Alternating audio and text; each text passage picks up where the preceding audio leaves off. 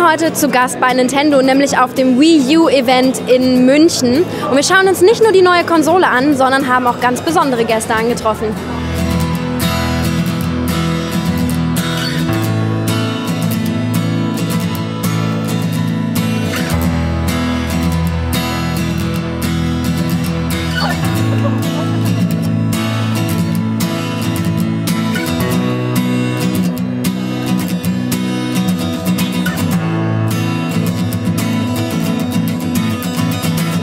Ich stehe jetzt hier mit dem Daniel und dem Julian, unseren Gewinnern des GamePro Wii U Gewinnspiels.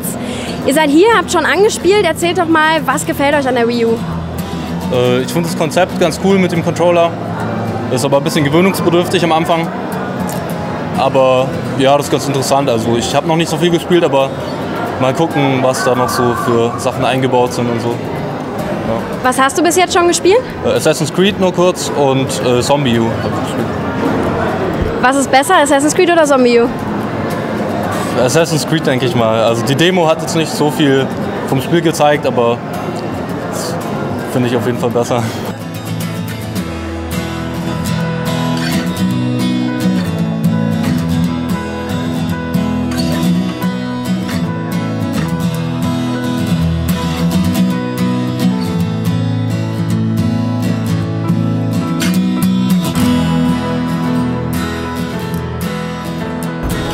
Heute auf dem Wii U Event von Nintendo und haben die Fantastischen Vier bei uns und wollen mal ein bisschen über Games reden. Ich habe nämlich auch gerade gehört, der Smudo hat uns heimlich verraten, dass er schon ganz, ganz lange Abonnent von der GamePro ist, was wir total super finden. Ganz lang hast du erfunden und heimlich ist es jetzt ja nicht mehr. Smudo, jetzt erzähl doch mal, Heimlich unter Bett gelesen, meine zwischen den ganzen Studioterminen und den Konzertterminen, wie viel Zeit bleibt überhaupt eigentlich noch für anderweitige. Hobbys, für GamePro, für die Gamepro Spiele? liest sich ja recht schnell. recht zügig.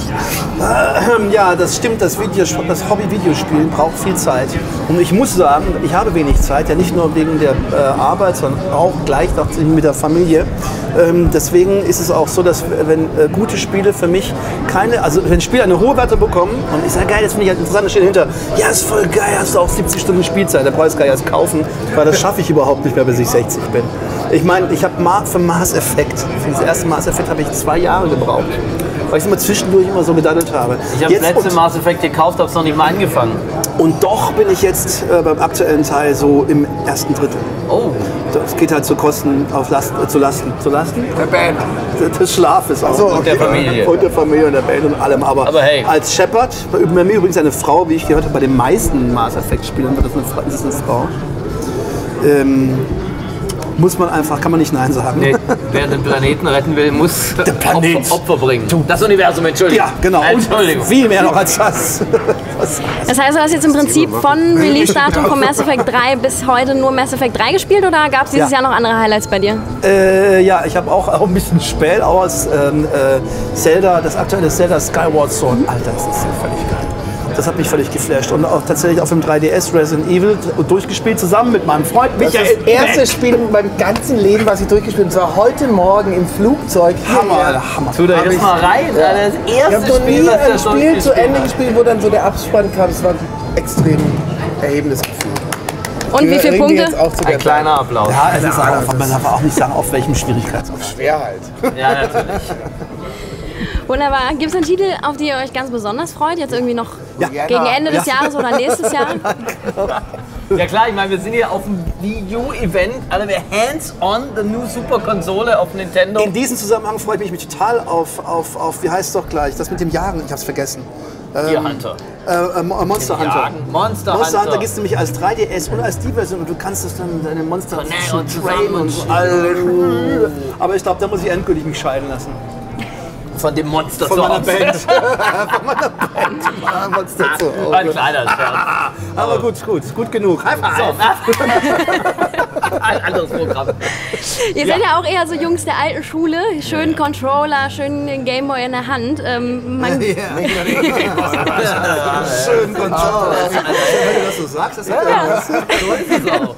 Jetzt geht es immer mehr zur Bewegungssteuerung, zur? Touchsteuerung, gerade mit der Wii U natürlich jetzt, äh, mit dem iPhone, alles dabei.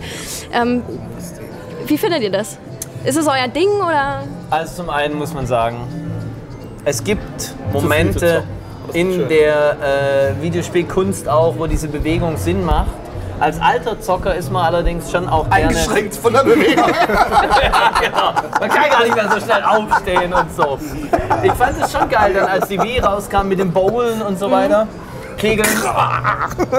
ähm, und ich finde auch jetzt bei der Wii U, es gibt interessante neue Aspekte, aber ich schätze auch die beiden Analog-Steuerknöpfe und, und weiß zu schätzen, dass man auch einfach sitzen kann und sich bewegen. Hier, Kinect zum Beispiel, habe ich genau zwölf Minuten gespielt, weil du musst wie blöd irgendwie vom Fernseher stehen und abhampeln, während die im Hintergrund dann noch von der Kamera mit erfasst werden, aus dem Bild sitzen. Das isoliert dich als Spieler von deinen Mitspielern. Man will ja auch gemeinsam ein gemeinsames Ja. Spiel mal genießen. Also was in der Hand muss schon sein. Möchte ich sagen, ich bin ein Freund des traditionellen Controllers, der aber gern dann, wie jetzt hier mit Bildschirm und Bewegungssensor, die Features erweitert werden kann. Genau, wobei ich es auch blöd finde, wenn Features dann so platziert sind und dann tatsächlich den Spielfluss hemmen. Man muss, es muss schon irgendwie Ja, es muss flowig bleiben. groovy sein. Ich finde zum Beispiel, die Zelda-Reihe ist ein schönes Beispiel. Als er da losging äh, mit, der, mit der Remote, das war doch alles, äh, das aktuelle Skyward Sword spielt sich nach so ein bisschen, hast du die beiden Dinge in der Hand. Das finde ich geil. Da ist ein Flow drin. Wirklich, wow, wuh. ich finde das völlig geil. Ja. Man verschmilzt tatsächlich mit diesem, Ja, das es ist ein schön. geiles Erlebnis. Also kann ich, ja, kann ich mal was als nicht so viel Konsolenzocker dazu sagen. Bitte. Ich finde es schon ziemlich geil, ehrlich gesagt, Okay. mit diesem Gamepad, weil man ja ähm, so eine andere Perspektive hat auf das Geschehen. Du kannst ja ähm, ne- einen Charakter steuern, den die anderen nicht sehen. Das ist schon irgendwie, fand ich ziemlich geil. Vor allem, weil ich nicht so ein alleine zu Hause Zocker bin, sondern wenn mit den Jungs unterwegs, keine Ahnung, im Bus oder auf irgendwelchen Terminen. Und das äh, finde ich schon irgendwie ziemlich cool. Also so, so dieses ja, also für mich war es nie so, wie halt, die, scheißegal, ich hab eh, bin eh haptisch ein wenig behindert. Ähm, gehandicapt. Gehandicapt, ja, sagt man heutzutage. Also, Also ist eigentlich alles besser geworden. wenn man alles, alles besser jetzt. Was ist denn euer Wii U Geheimtipp? Ja, ich finde den. Äh, Pikmin. Ich freue mich total auf Pikmin. Ich freue mich auf etwas, was gar nicht so sehr featuremäßig ist mit dem neuen Pad, sondern äh, dieses, das, die äh, Nintendo Land äh, mit dem Donkey, dieses Donkey Kong Spielchen, was eigentlich Ich so war ein fast am Ende. albernes. Murmelspiel Ich ist, hab's aber fast es geschafft. lässt mich nicht mehr los. Highscore des Tages. Es lässt mich nicht mehr los. Haben noch kein Ende in Sicht leider. Ist euer Favorit? Rayman hat ja doch so gut. Ja, das ist mir ein bisschen zu schnell für, meinen, Der Zweispieler-Modus im Raymond, das ist tatsächlich was für Legendäres. meine alten Augen. ja, das ist Aber- wirklich. Ich legendär. habe es noch gar nicht gezockt. Aber hier, ähm, ich habe ich hab, äh, alle fertig gemacht aus meiner talentierten Band bei was? ähm, äh, Animal Crossing. Oh, ja, Animal Crossing. äh, Nintendo Land, das Spiel Animal Crossing. Michi. Don't mess with the Michi. Ja. Don't mess with the Wawa. Das stimmt tatsächlich. Wie schaut's bei dir aus? Ist auch ein Favorit? Ich habe Pikmin sehr gerne gespielt. Pikmin heißt es aber. Pikmin? Ja, ist schon Er meinte aber auch. Pac-Man, das war das letzte Mal Pac-Man. 15 Jahre. Pikmin. Genau, Pikmin ich so geil, aber was. Pac-Man. Pikmin, dieses Pikmin. Pikmin, wo ist es? Ja. Rayman fand ich auch sehr gut. Äh, Gute äh, Tempo, naja, sagen wir mal, da ist noch ein bisschen Trainingsbedarf übrig. Äh, Grafik ist aber sehr schön, also ich mag das jetzt äh, sehr. Ich habe bei Nintendo eigentlich nie die, die äh, Super Graphics vermisst. Die, die letzte Konsole war jetzt nicht berühmt wegen ihrer extremen Grafik, aber wegen den guten Spielideen. Aber ich muss sagen, das schadet auch überhaupt nicht, wenn die Grafik besser ist. Ja, that's flashy bei Raymond. Äh, Bei Rayman der Zweispieler-Modus ist ganz geil, weil du hast auf der einen Seite spielst natürlich jemanden, der Jump'n'Run-mäßig, und der andere spielt einen guten Geist, der mitfliegt, wo du mit dem Touchscreen verschiedene Sachen machen musst und hast quasi ein ganz eigenes Spielerlebnis, was im Zusammenhang mit dem anderen ist. Du musst dem äh, ein Seil durchschneiden, dass ein Balken runterfällt, dass er richtig, richtig, richtig draufspringt. Du musst genauso mitdenken. Und das ist tatsächlich schräg, weil du es gemeinsam spielst und doch jeder ganz eigen. Cool. Das fand ich irre. Vom Zweispieler zum Vierspieler-Modus, wer gewinnt üblicherweise bei euch? So zwischen uns beiden ist das so meistens ausgefochten. Hey, hey, hey. Denk an Animal Crossing. Ja, Animal um, um genau Crossing. sein. Außer Animal Crossing. Ja. Ich war der beste Geist bei Luigi's Mansion. Menschenskind. Äh, Ich habe dich die ganze Zeit im Speedrun abgezockt bei äh, Super Nachdem du Mario. geguckt hast, wo man, wo, nachdem den, den groben, weil instinktmäßig war ich immer der, der den Level aufgerissen hat. Und dann hast du geguckt, wo Ja, von geht. hinten aufgeräumt.